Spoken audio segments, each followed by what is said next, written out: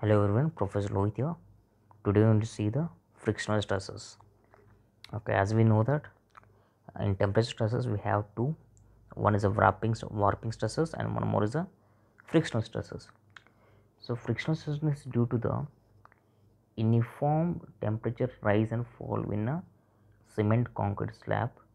There is an overall expansion and the contraction of the slab since the slab is contact is in contact with what? The supporting layer below the slab movements are restrained by the frictional force between the bottom of the pavement and the supporting layer.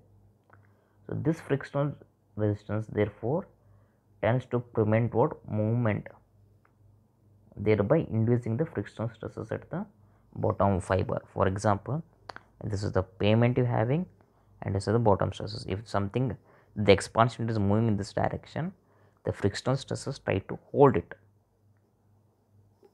Okay, in, inducing the frictional stress in the bottom fiber to cement concrete pavement. The stresses in the slab resulting due to the phenomenon vary in with the slab length. Okay, the process of contraction of CC slab and the development of the tensile stresses has been given by this formula. So, equate this uh, whatever the total force in kg developed in the cross section of the concrete pavement due to the movement of half length of the slab and the frictional resistance due to the restraint at the interface of the in the half slab length and that is given by the SF is nothing but W into LCF into divided by 2, 2 into 10 to 4. Where SF is nothing but what? Stress developed due to the interface friction in the cement concrete pavement per unit area. That is given by kg per centimeter square or Newton per mm square where W is nothing but weight unit weight of the concrete in kg per meter cube. That is 2400 kg per meter cube. And F is nothing but coefficient of friction at the interface. The maximum value for this is going to be 1.5 and LC is nothing but spacing between the contraction joint that is equal to the slab length in meter. That's LC and where uh, what is left with now B. B is nothing but slab width in a meter. So, seeing to that let us see one problem on that. The spacing between the contraction joint of the CC pavement is 4.2 meter. Determine the tensile stress developed in the CC pavement due to the contraction if the coefficient of friction between the bottom of the pavement and the supporting layer is 1.1 and the unit weight of the CC that is cement concrete is 2400.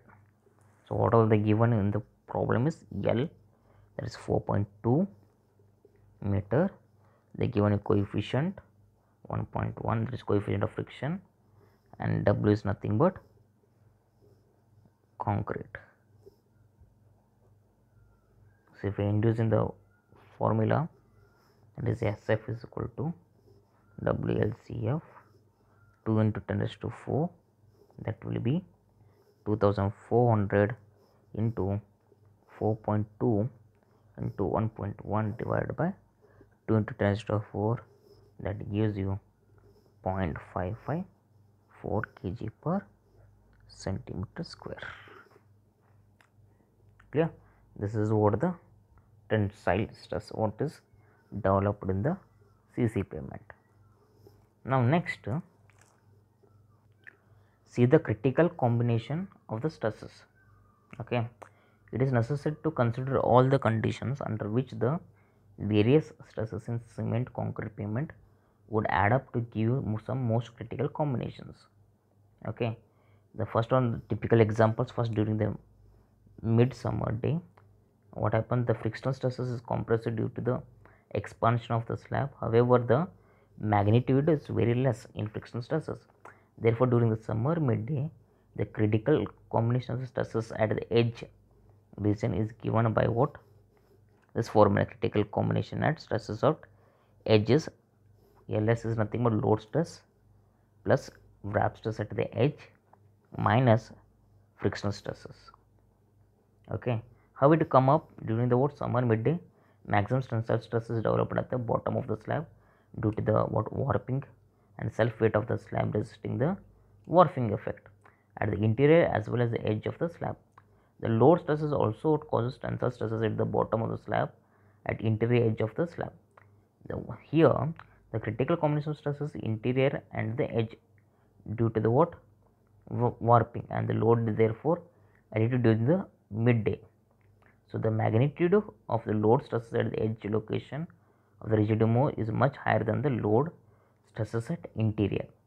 So throughout the warping stresses at the edge location at is lower than the interior hence the combined binding of load and the warping stress is generally higher than the interior.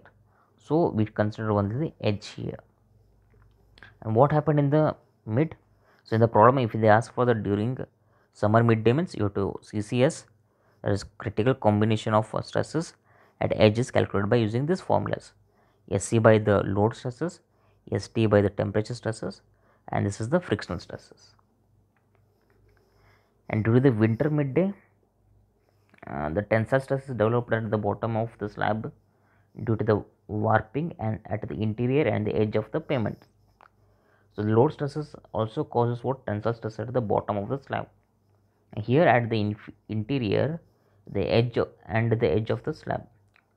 The frictional stress tensile during the winter season due to the contraction of the slab, the critical combination stress of the given by this combination. What ls plus here edge only ls plus ws but here the frictional stresses is added. But during the summer midnight what the critical combination stress occurs at the corner okay? On the top on the top when the slab tends to warp upwards and it resisted by the weight and there is no frictional stress will be available. So the critical combination during the night will be at the corner that is given by load stress at corner and temperature stress at the warping at the corner. And lastly the most critical combination will be the highest of above 3 okay. Though this value may be depend upon the several factors like general conditions uh, summer midday is found to give one most critical combination of the stresses. If anything is not coming at the highest in those conditions you can take it as a summer midday. Okay? Here we conclude the class. Thank you for your patience hearing